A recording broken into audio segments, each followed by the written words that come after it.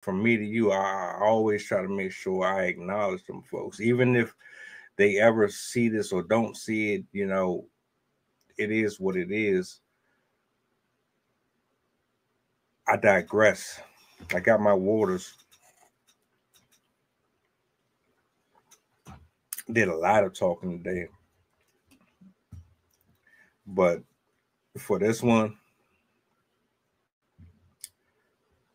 I want to slow cook this just like I do everything else. I'm not in no no rush. I'm not in no hurry. Um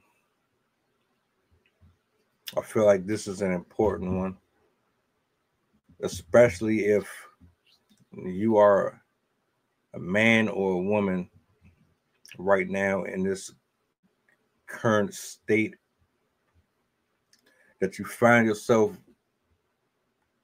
consistently attempting to please other people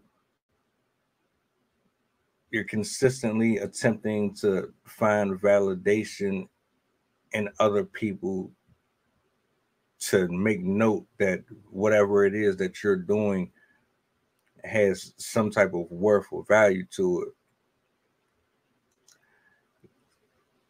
Stop it. Stop it right now.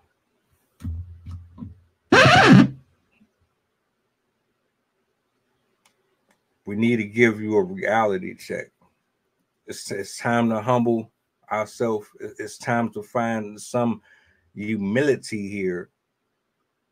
Check your ego and your pride at the door and accept the fact that right now, as it stands,